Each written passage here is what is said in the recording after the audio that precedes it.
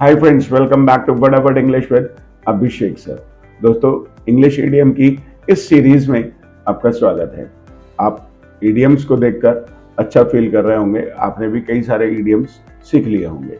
मैं डेली एक video upload करूँगा, जहाँ पर मैं आपको एक ईडियम सिखाऊँगा और वो भी कुछ एग्जाम्पल्स के साथ, जहाँ आसानी से आप उन्हें यूज़ करना सीख लेंगे। यदि आपने वो सारे वीडियोस अभी तक नहीं देखे तो उन्हें एक एक करके देखना शुरू कीजिए। चलिए शुरू करते हैं आज का वीडियो। दोस्तों आज का जो कॉमन ईडियम है वो है अंडर द वेदर अक्सर आप लोगों से बोलते हैं यार मेरी तबीयत ठीक नहीं है। आ, मौसम का मुझे लगता है कि कोई असर है।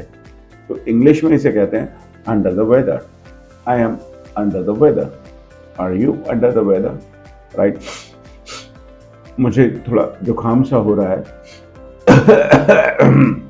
तो अब मुझे कोई खास परेशानी तो है नहीं, लेकिन फिर भी कोई मुझसे पूछे how you doing sir are you okay तो मैं कहूँगा I am a bit under the weather यानी मुझे मौसम का थोड़ा असर हो गया है, मैं थोड़ा सा बीमार फील कर रहा हूँ।